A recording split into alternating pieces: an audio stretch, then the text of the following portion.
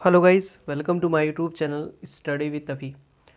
तो दोस्तों, अभी स्कॉलरशिप का स्टेटस जो है वो शो होने लगा है और सभी लोगों ने अपना स्टेटस चेक कर लिया होगा अभी तक। और कुछ लोगों के स्टेटस में कुछ प्रॉब्लम्स आ रही हैं। यानी कि किसी किसी का जो मार्क्स है वो मिसमैच दिखा रहा है या बहुत सारी जो प्रॉब्लम्स हैं वो आ रही हैं, ठीक है? तो इस वीडियो में आपको बताने वाला हूँ कि अगर आप में प्रॉब्लम आ रही है तो आप किस तरीके से उसको दूर करा सकते हैं। तो वीडियो को लास्ट तक देखिएगा और अगर अभी तक आपने हमारे चैनल को सब्सक्राइब नहीं किया तो सब्सक्राइब कर लीजिएगा, क्योंकि ऐसे इंपॉर्टेंट अपडेट्स जो होते हैं, वो सबसे पहले आपको हमारे चैनल पर देखने को मिलेंगे। तो चलिए, वीडियो को स्टार्ट करते हैं। देखिएगा, मैंने पिछले वीडियो में आपको बताया था कि अगर आप लोगों का स्टेटस ये ये शो हो रहा है तो उसके लिए आपको क्या कौन कौन से फॉर्म अपने कॉलेज में जमा करने हैं, ठीक है? तो इस वीडियो में मैं आपको वो चीज़ें फिर से दिखा दूँगा कि अगर ये चीज़ आपको स्टेटस में शो हो रही है आपके तो ये चीज़ आपको वो फॉर्म में देखना है, ठीक है? यहाँ पे देखिए, आपके कॉलेज की तरफ़ से भी आपको एस आया होगा।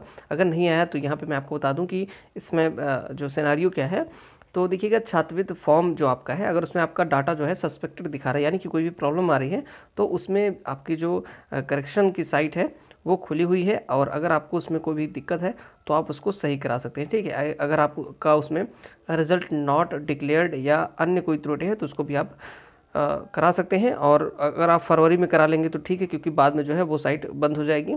और इसके लिए आपको क्या करना होगा अपने कॉलेज में जो भी संबंधित डाटा डॉक्यूमेंट्स हैं वो जमा करने होंगे ठीक है? और क्या क्या डॉक्यूमेंट्स जमा करने हैं वो मैं आपको एक बार बता देता हूँ। देखिएगा, यहाँ पर अगर आपका मार्क्स मिसमैच्ड बता रहा है तो आपको क्या करना होगा? गत वर्ष का अंक अंकपत्र की प्रमाणित छायाप्रति आपको जमा करनी होगी। अगर आपका यूपी बोर्ड या आईसीएससी बोर्ड से जो है, आपका रोल नंबर वगैरह मिसमैच दिखा रहा है तो आपको क्या करना होगा? हाई स्कूल का आपका अंकपत्र जो है, उसकी छायाप्रति आपको जमा करनी होगी। और या फिर आपका अगर इनरोलमेंट नंबर में कोई भी प्रॉब्लम आ रही है तो आपको क्या करना होगा? गत वर्ष की परीक्षा अंक पत्र का प्रमाणित छायाप्रति आपको जमा करनी होगी।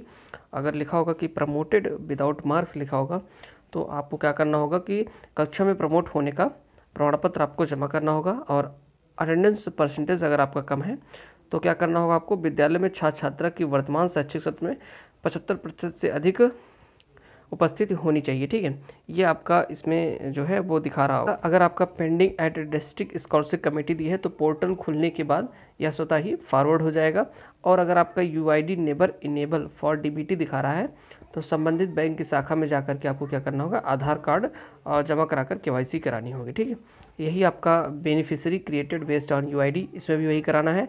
और आई कोड वगैरह में अगर आपकी कोई प्रॉब्लम है तो वो भी जा करके आप अपने बैंक शाखा से करा करके के वगैरह करा सकते हैं, ठीक है?